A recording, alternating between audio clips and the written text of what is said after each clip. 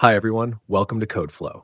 In this video, I'll guide you step by step on how to connect the front panel wires to the X870E Aorus Xtreme AI Top motherboard.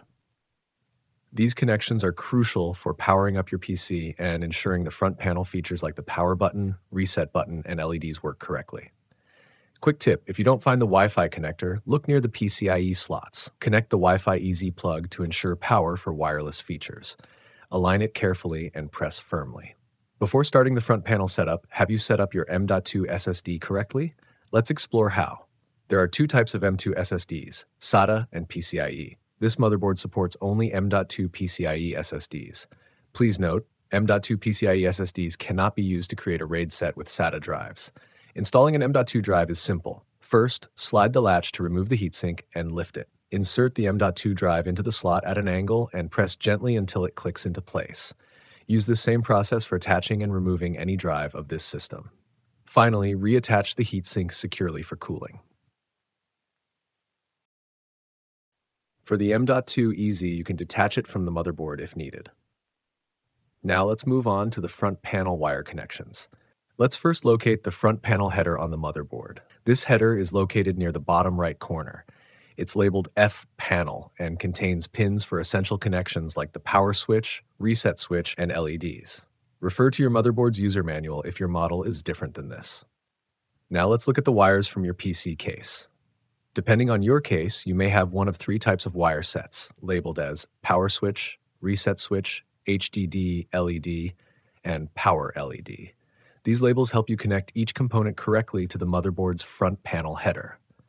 If it doesn't have text marking, then each wire has a small arrow or marking that indicates the positive side, especially for LEDs, since polarity matters for them. Now let's start with an easy one, connecting the speaker. On the front panel header, you'll find its pins located at the upper right part of the motherboard with four pins. Align the connector with the pins and press it gently into place. In general, most motherboard speaker connectors are non-polarized. However, it is always a good practice to follow the positive and negative markings on the motherboard and connector to ensure proper alignment and prevent potential confusion when troubleshooting. So you can follow the diagram I provide on screen. Where you can see left part of the speaker pin is positive. On the same line next to the speaker, you'll see two pins labeled power switch. Connect the wire so that it fits snugly over these two pins. Orientation doesn't matter for this one.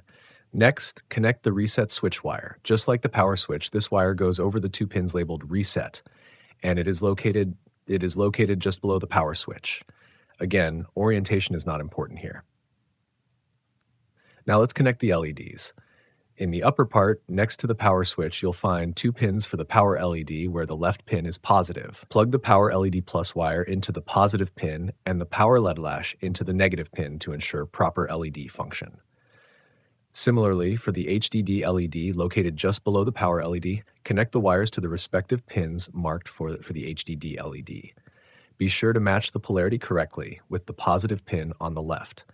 This ensures proper LED functionality for hard drive activity. The chassis intrusion header is a motherboard connector used to monitor whether the computer case, chassis, has been opened.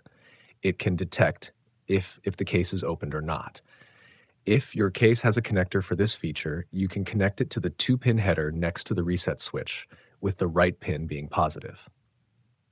Once all the connections are in place, double check that each connector is seated firmly and in the correct position. A loose connection can cause the front panel features to malfunction. And that's it. Your front panel wires are now properly connected to the motherboard. Power up your PC to ensure everything works as expected. If you have any questions or run into issues, feel free to leave a comment below. Don't forget to like, share, and subscribe for more PC building tips. Thanks for watching.